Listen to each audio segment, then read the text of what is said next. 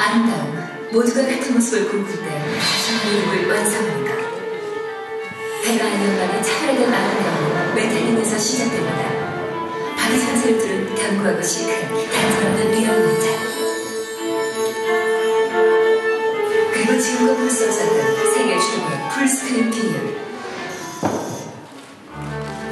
전형화된 라운드 디자인을 탈피한 직사형 디자인 마지막 디자인의 완성은 주얼리 라인징을 사용자의 설정과 함께 스마트폰의 성능을 불빛으로 표현해줍니다.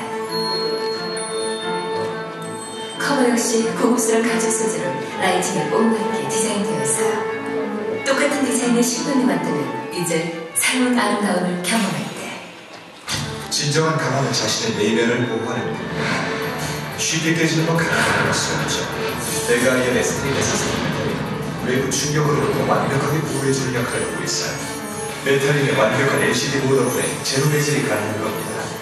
1.7GHz 쿼드코어의 최고 속도입니다. 국내 최초로 적용된 LT보다 4배가량 빠른 기가와 효과 또한 두 보드로 동시 충전 가능한 배가만의 배터리는 더 얇고 가벼워진 반면 전력 효율성은 더욱 향상되었죠. 강하게 더 오래된 아름다움을 지키는 것입니다. 더 밝고 사용하기 위해 새로운 접근 방식을 찾다. 차세대 디스플레이 기술인 인셀 디스플레이는 센서 패널을 삭제함으로써 기존 LCD 대비 초과율이 5% 향상되었어요. 이젠 밝은 야외에서도 더욱 향상된 시인성과 넓은 시각 확보로 화면을 뚜렷하게 지 사람들이 쉽게 쓸 수 있도록 스마트폰이 더 스마트해졌어요. 내가 이용하는 인텔리전트 카메라는 현재 촬영 환경에 적합한 모드를 그리고 스마트폰으로 시 유용한 기능만 어선하여 적용된 카메라 뷰에서 편리하게 찍고 만족도 높은 사진을 남기실 수 있습니다. 로컬 엔진 방식으로 더욱 빠르고 정확해진 음성인식이는 바쁠 땐 배가 눌러봐요.